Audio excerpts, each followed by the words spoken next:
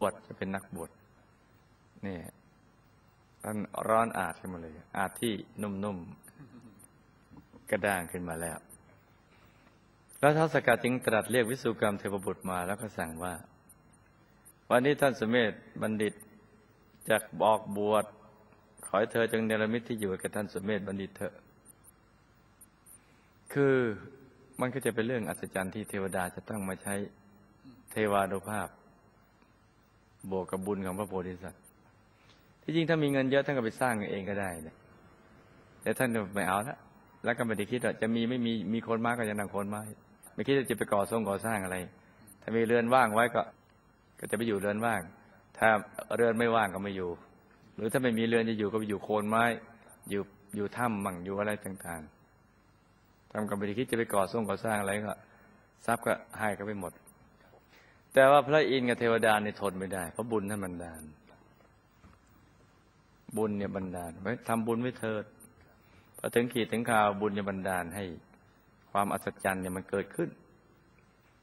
พิสุกรรมเทวบุตรก็ได้รับพระดำรัสบัญชาของท้าวสกัดแล้วก็มาในระมิตอาสมอันเงียบสงบ อันนี้เป็นภาพสมมตินะ แล้วก็ที่จงกรมอันน่าเรื่นลม โดยที่ ท่านสมเด็จท่านไม่ได้รู้เรื่องหรอกนะท่านไม่ได้สนใจเรื่องเหล่านี้ คือมีก็อยู่ไม่มีก็แล้วไปนี่นเป็นปกติธรรมดาของท่าน เพราะถ้าท่านอยากจะมีท่านก็เอาเงินนั้นมาสร้างนั่นดีกว่า ท่านเฉยๆมาในละมิตที่อยู่ โอ้สวยเลยรอบๆบริเวณอาสม มีดอกไม้ ไม้ผลไม้ดอก ไม้ดอกให้ชื่นใจ ไม้ผลเอาไว้ให้อิ่มท้อง พร้อมกับบ่อน้ำที่สะอาด แล้วก็ไม่ให้มีสัตว์ร้ายอยู่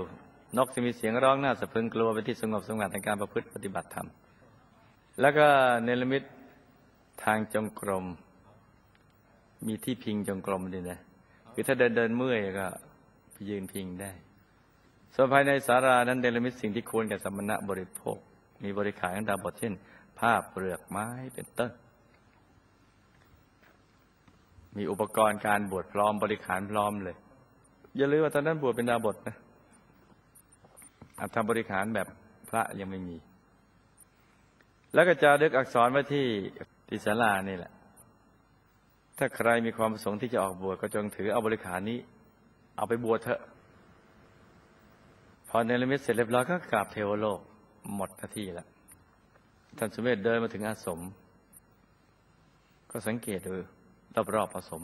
เอ๊ไม่เห็นมีรอยเท้าเลยเนี่ย รอยเท้าสัตว์ก็ไม่มีรอยเท้ามนุษย์ก็ไม่มี ก็เลยคิดว่าเราบรรพชิตที่อาศัยอยู่ที่พักนี้คงจะเป็นแสวงหาอาหาร ที่หมู่บ้านใกล้ๆนี้มั้งก็เลยนั่งรออยู่ที่รอบๆผสม คอยตั้งนานไม่มีใครมาเลยเลยเราเข้าไปข้างในดีกว่า พอเข้าไปในอาสมเห็นอักษรจารึกไว้ที่ฝาผนังแต่ใครมีความประสงค์จะออกบวชก็จงถือบริขารนี้ไปแล้วจงบวชเถิด เราจะเอาสิ่งของเหล่านี้ที่ควรกับสมณะบริโภค ออกบวชเป็นดาบท นี่ก็เป็นอนุภาพบุญที่พระบรมโพธิสัตว์สั่งสมมาสิบหกอสงไขยที่จริงสมบัติท่านจะเอาเท่าไหร่ก็ได้แต่ว่าบริขารแบบนักบวชคือตั้งสมถะ สันโดษมักน้อย ไม่คุกคลีด้วยหมู่คณะ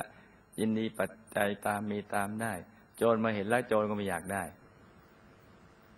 ท่านสมเด็จก็ได้เรื่องผ้าสาดกอย่างดีออก แล้วก็นุ่งห่มผ้าเปลือกไม้พร้อมกับบริขารในยุคนั้น